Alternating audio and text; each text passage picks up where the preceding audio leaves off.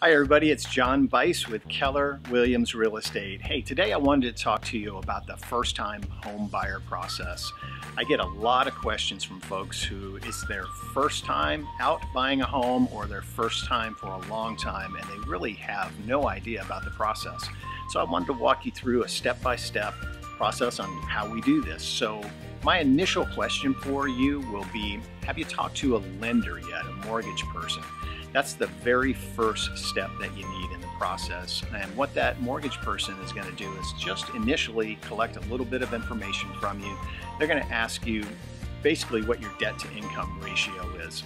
They're going to give you a pre-qualification letter to tell you what they believe they can lend you to buy a home. The reason this is important, there's two things. You may be looking up to 400,000 for a home, but you qualify for 350 or you may be looking up to 400 but you qualify for 450 and we want to know that.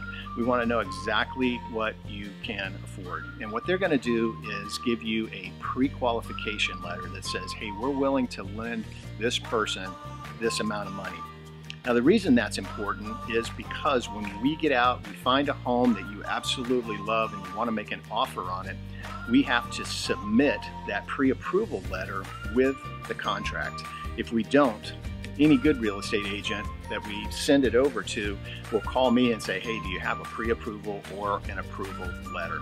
So that's a big part of the first process. Once you've done that, get online. I don't care if you use my website, Zillow, Realtor.com, Trulia, but get online and start looking at homes and see what kind of home it is that you want and you want to know number of bedrooms, number of bathrooms, uh, square footage of the house, two car garage, three car garage, pool, no pool, big yard, no yard. Uh, so we want to know all those things and I need to know that so I can run searches for you as well. So then once we get that together, then we get out and start looking at homes. And the first time we go out, we'll look at probably three to five homes because once you start getting into six, eight, ten homes, you don't remember what home number one was once you you know get back uh, home after we've been out.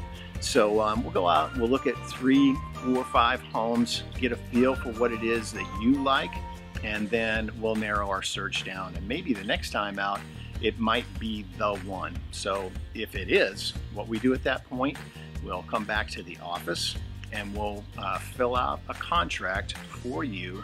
And the contract will look something similar to this. Now, this is an active contract that I have. I've blocked off the names and the address and everything. But the important parts on this uh, contract for you will be obviously the sales price, what you're offering on their um, on their listing price. Not too many people come in at 100%. So we'll evaluate the home. We'll take a look at comparable homes in that particular neighborhood, and I'll give you some advice on what I feel like the home is worth. So that's number one.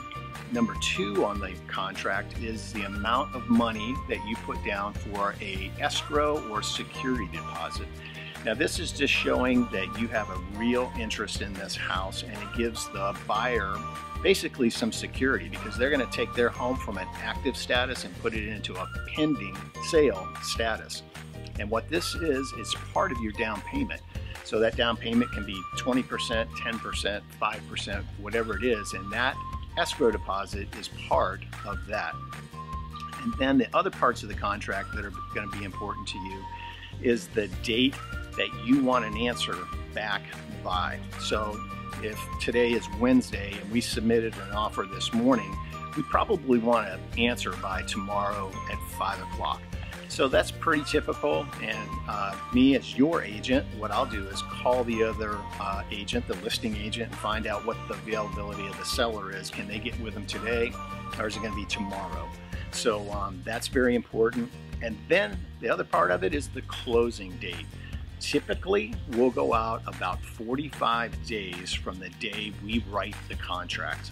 And um, that is going to allow the mortgage person to collect all your information, keep collecting all your information all the way through the process. And about 30 days in, they're going to give you what we call a clear to close. And once we have that, then we can set up the closing date for your home. Then after that, I kind of take over for you. We set up inspections, termite inspection, home inspection. I'm going to give you a list of things to look for when you're in the home. How old's the roof? How old's the AC? How much are the HOA fees in the community? Just a whole list of things. Because a lot of times people will walk through the home they never even go in the backyard to see, is it a fenced in backyard? Is it a small backyard, big backyard? Can we put a PlayStation uh, thing out there for the kids? Uh, what, you know, what is it that's important to you? So I'll give you that list. But we'll walk you through the whole entire process. We're there with you seamlessly to make it as easy as possible because we want at the end of the transaction, we want to hear you say, wow, that was amazing. Jon took care of everything for us. So if you've got any questions, about the first time home buyer process, give me a call 941 962 7443. I'm available seven days a week and I look forward to hearing from you. Thank you so much.